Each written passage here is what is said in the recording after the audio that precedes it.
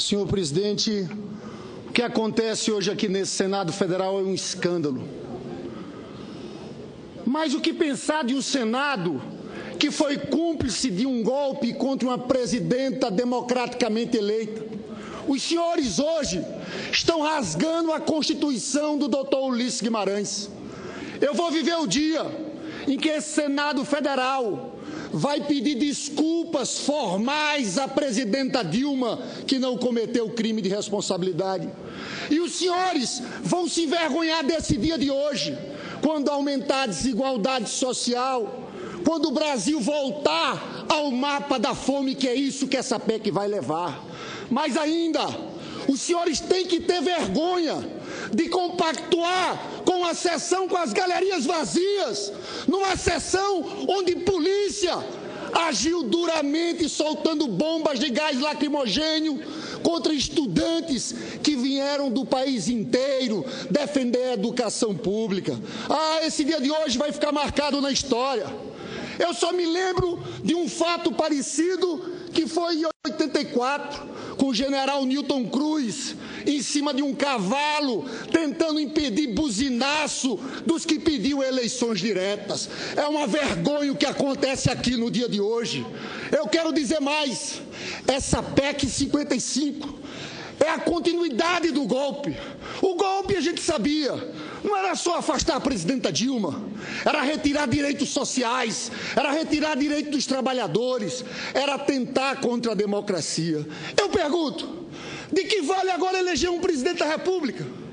Se o presidente da República eleito pelo povo não vai poder fazer a política que combinou com o povo através do seu programa, não vai poder fazer política anticíclica não vai poder investir mais em educação e saúde. Isso aqui é inconstitucional. Nós estamos ferindo as cláusulas pétreas que fala no voto popular. Nós estamos rasgando o voto popular. Estamos querendo transformar o Brasil na Grécia, porque lá, senador Jader, o povo votou contra a política de austeridade. De que valeu? Não vale nada. Lá não existe mais política fiscal, nem política monetária. O povo não decide, não tem soberania popular. Quem decide são os tecnocratas que defendem o capital financeiro. Por fim, esse é um golpe de classe para retirar direitos.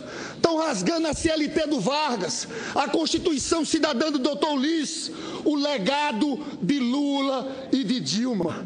Qual é a gastança? A gastança é que nós valorizamos o salário mínimo 77% acima da inflação. A gastança é que gastamos 250% acima da inflação recursos da educação. A gastança é que aumentamos os gastos sociais de 13% do PIB para 17%. E olha o que aconteceu: a queda na pobreza aqui no país. Agora eu pergunto aos senhores que defendem essa PEC: são corajosos os senhores? Qual é a medida para os ricos? Eu quero que mostrem uma medida: taxação de grandes fortunas, lucros e dividendos, juros, nada não há nada para os ricos, não há nada para os banqueiros. É um ajuste todo feito em cima do povo pobre brasileiro. E quando eu falo dos juros, é preciso que se diga. Falam tanto de déficit aqui. O déficit no ano passado foi de 10,34%.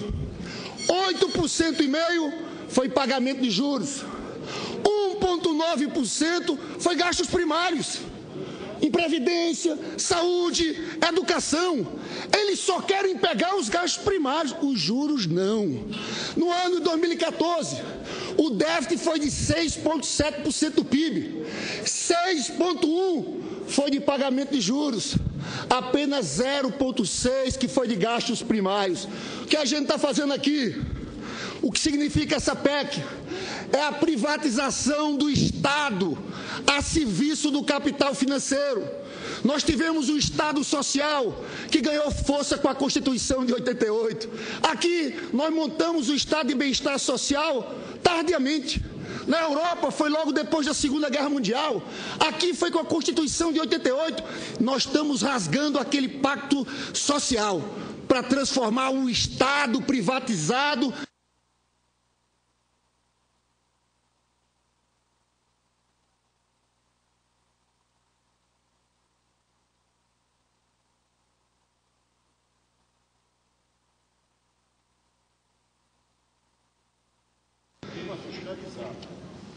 É isso que está acontecendo. Nós estamos destruindo o estado de bem-estar social para deixar, esse estado completamente vinculado aos interesses do capital financeiro. O que, é que quer o capital financeiro? Em momentos de crise como essa, é a disputa do fundo público, é a disputa do orçamento. Eles querem deixar livre primeiro os recursos para pagar juros da dívida, algo em torno de 500 bilhões, e o resto do orçamento tem que se apertar. O que eles estão fazendo e o que os senhores estão fazendo aqui, a serviço do capital financeiro, é dizer o seguinte: saiam vocês, pobres do orçamento, vocês estão ocupando muito espaço no orçamento e o orçamento tem que estar garantido para fazermos essa transferência. Eu só queria concluir perguntando aos senhores: quem está fora dessa PEC? Quem não perde com essa PEC? Ou melhor, quem ganha com essa PEC? Sabe quem? Quem patrocinou o golpe. O sistema financeiro, a grande burguesia paulista, a mídia, que vivem do rentismo. Senador Requião, acabou o período daqueles empresários produtivos, de Zé Hermílio de Moraes e outros. Agora é tudo o sistema financeiro. É a ditadura do sistema financeiro. E ganha quem mais? Os altos funcionários públicos. Sim, porque tem uma cláusula aqui que protege, sabe quem? O poder judiciário, o poder legislativo e o Ministério Público.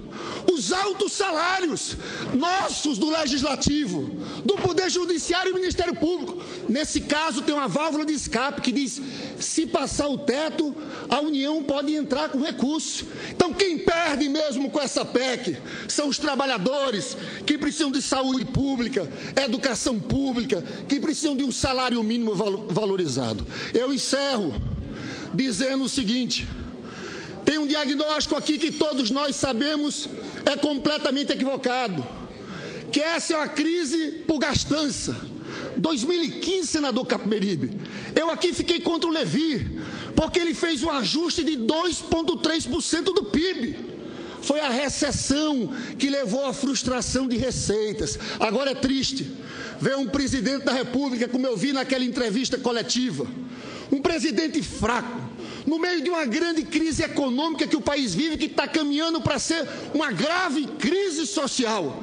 No momento em que estados estão quebrados, que municípios estão quebrados, que as empresas devem 80% do PIB, que as famílias estão extremamente endividadas, a gente precisaria de quê? De um presidente forte, com legitimidade popular, para fazer o oposto do que estamos fazendo, porque para a economia recuperar o seu crescimento, ele tem que propor o oposto: mais investimento público, mais gasto social, recuperar a cadeia de óleo e gás, colocar os bancos para emprestarem. Eu termino, senhor presidente, dizendo que essa PEC é a morte do Estado social, mas ele vai ressurgir. Podemos até perder a votação da PEC da maldade, mas não vamos sair daqui de cabeça baixa. O povo brasileiro começa a perceber que todo esse circo, a serviço do capital financeiro, foi, marcado, foi armado por um governo ilegítimo, um governo que precisou dar um golpe, porque sabe que o povo brasileiro, em eleições legítimas, jamais daria vitória a esse programa. Não a PEC 55. Vamos resistir nas ruas e no parlamento brasileiro. Com a palavra, o senador.